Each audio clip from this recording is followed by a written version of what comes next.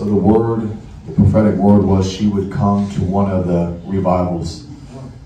So she's first, she's alive because of what Jesus Christ did. And now she's here. So this is, this is not the end. It's the beginning.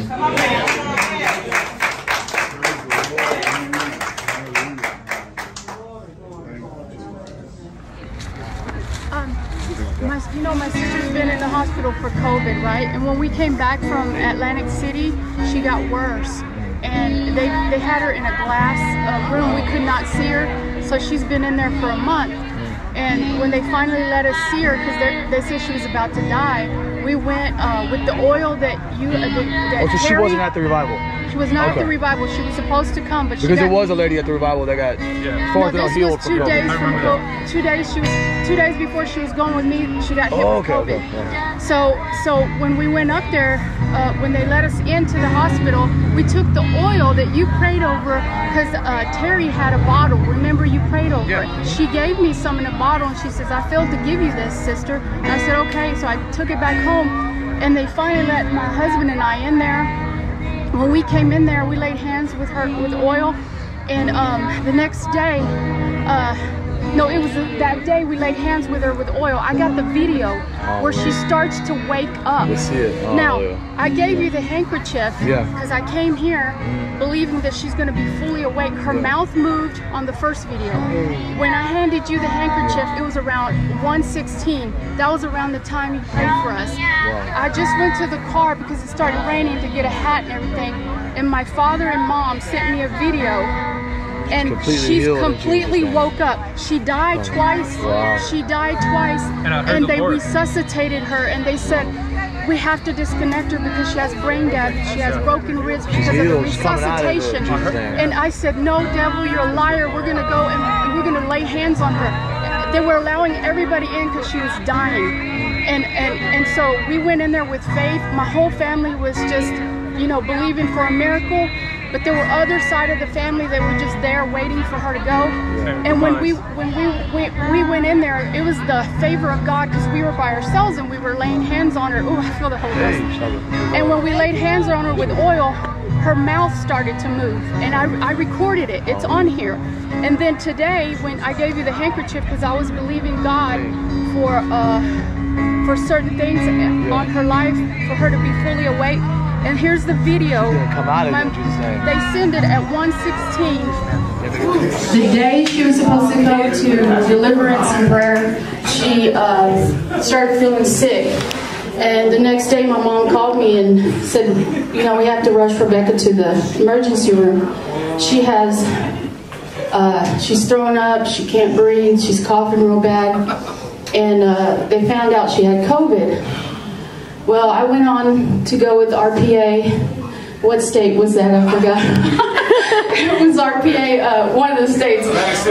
Yeah, yeah. Uh, so anyway, she didn't come, and I, I started out questioning God. I said, "Lord, what's going on? What's, why can't she come?" You know. And I just felt it was like an attack from the enemy because she really wanted to to come for deliverance and prayer, and I went back home and they, they put her in a coma. And she was in a coma for, I don't know, two months. And um, so we, I would go up there every day and, you know, bathe her, clean her up, and just pray for her and, and just minister to everybody up there, the nurses and everything. And I said, Lord, I know there's a purpose for her to be here. And, you know, the purpose was to be on COVID hallway and minister to them because there was a lot of them dying. Yeah. So she died, and she died the first time. Uh, but going back, we brought oil back from uh, the the gathering, and Dustin prayed over it. My friend said, "I really feel like you should have some of this oil." So she put it in a bottle for me. This is anointed oil. I'm the anointed ladies. Amen. That's the anointing on it still. It's still on her. Oh, oh. um, came back to the hospital. We prayed for her because we, we heard she had passed away and then came back. And um, she, when I went back to visit her, she died again that night around three or four in the morning. They called us and said, "Look, if she dies again, you know she's going to have brain damage." Yeah. And they were trying to encourage us to disconnect her, and we were like, "No, we're not going to disconnect her. We're believing God for a miracle." Amen. And um, so she didn't come out of a coma. We went up there with the oil and a handkerchief, and we got it on video where she started to wake up. She opened her eyes. She she's completely waking up. She's coming out of it. She's healed. In Jesus' name. and her eyes completely wake up. They told us she would have, she would, we would have to disconnect her because she was, uh, she died twice at 3 a.m. She died at 3 a.m. But we, we got on our knees and we cried out to God, and uh, she died again immediately after that. And uh, when we were able to come in with the oil, we saw her mouth move, but we left. We came here, and then my mom and dad stayed behind. And uh, they said her eyes weren't open yet, but here her eyes are opening. When I hand you that handkerchief, that's when everything happened in that moment. When I went to the car, I had an urge to go to the car, and I had left my phone there, and I had the urge to pick it up, and they sent me that video. Breakthrough. She's coming out. She's So coming out. she's raised She can from be a the dead. testimony. Yes, literally, Lord. literally Yes, raised she's from the so- dead. I heard and and she, mom her started mouth moving starts to from the move. oil. She spoke with oil. And oil. then from the handkerchief right now, she starts Her coming back eyes alive. open. And uh, even though she woke up, you know, the doctors were like, well, she's going to have brain damage. She's not going to be able to walk. She's not going to be able to speak. And we were just believing otherwise. We were believing the opposite. And uh, she came to, and uh, we just kept continued to pray for her. But she told me she didn't remember a lot of things, but she did remember that she had a lot of uh, warfare in the demonic realm. She went into the realm of the demonic, and they were torturing her and that as she was in a coma. But she said she could hear.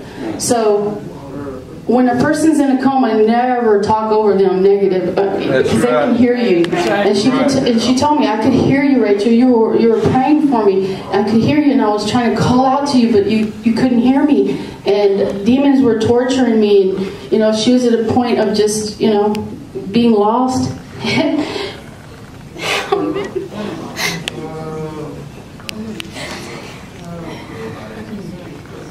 Bless you.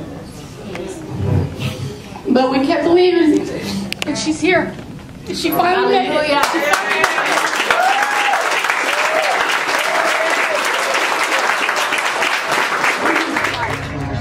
Come back to life in Jesus' name. She's gonna Yeah. walk. She's gonna talk.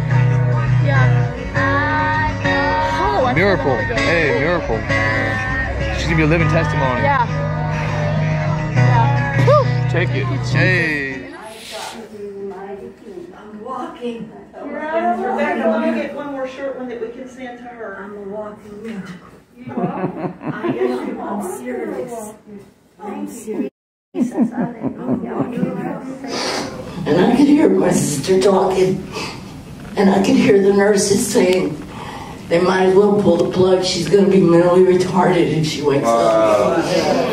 I could hear all that, and I was crying out for my sister, saying, please, don't give up. Don't leave me here. Don't give up. When I woke up, they told me that my husband, my kids told me, Mom, we weren't crying, we weren't upset, but we found Dad in his office crying because he thought you were going to die. Mm. And I just feel that God used it to soften his heart. Because we didn't have any love for each other, I'm not going to lie. I was going to church. I thought I was serving God, but we just didn't have anything for each other. There'd been too much damage. And so when I woke up, I told him, I said, I'm really sorry. Please forgive me for everything I said or did. I said, but I don't hate you anymore. I've always loved you. All I wanted was to be important to you. Yes. And I never felt important to you. I never felt that you cared. I said, but you know what? That doesn't even matter anymore because it's not worth my soul. Oh, it's not worth your soul. I don't care. I don't care what people do. It's not worth your soul. It's not worth your eternity. Let it go. Let it go. Just let it go. I know that's easier said than be- than done, but I tell people, man, it stinks that I had to die in order to learn how to live.